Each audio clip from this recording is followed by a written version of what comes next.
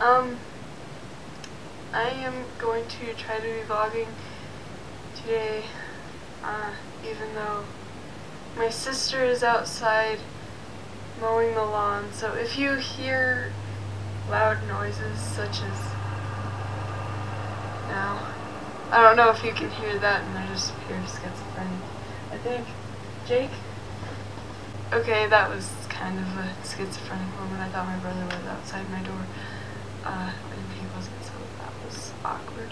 Anyways, um, so, prom was last Saturday. I got sick Thursday, like, during fourth period, so in the, like, the middle of the day. I was like, you know what, I'm really thirsty, and so I, I asked my friend to drive me somewhere to get a water. Uh, well, he, he usually goes somewhere for lunch and then I just... Anyways, the point is, I had some water and I realized that I wasn't thirsty, but I was about to get sick and I was like, yay, this is absolutely what I need. I hate being sick. Anyways, um, so that's why my voice might sound like a little weird and cracking and nasally. Um, but my point is, I got sick, and so I stayed home on Friday, and so I didn't tell Shelby whether or not I wanted to go to prom. But because I was sick, I was probably not going to go to prom, which I didn't because I felt I didn't feel very good.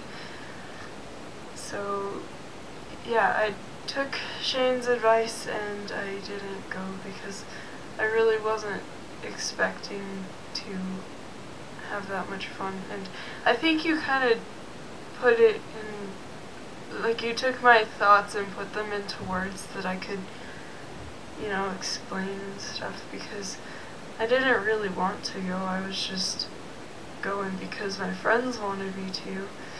And I did not do that.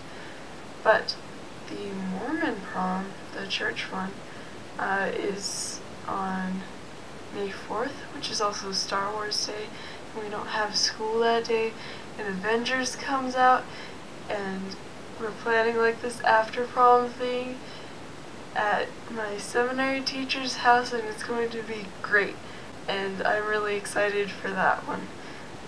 So I'm really excited to go to that prom and I'm glad that you somebody agrees with me that I shouldn't have to go to both proms for that sort of advice type stuff.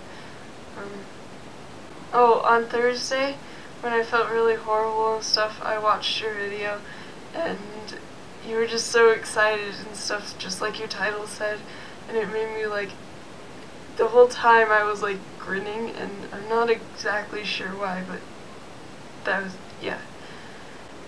Good video last Thursday I don't know it's yeah.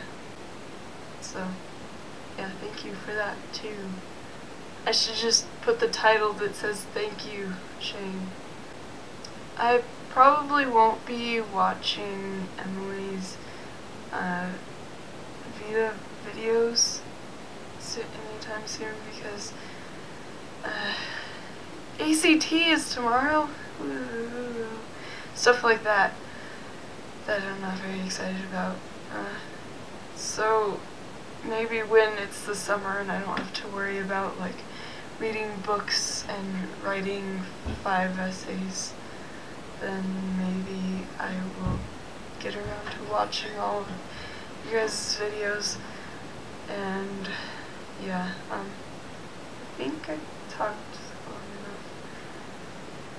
So yeah, um, I will see Shane Wednesday, maybe Emily on Friday, and yeah, okay, bye.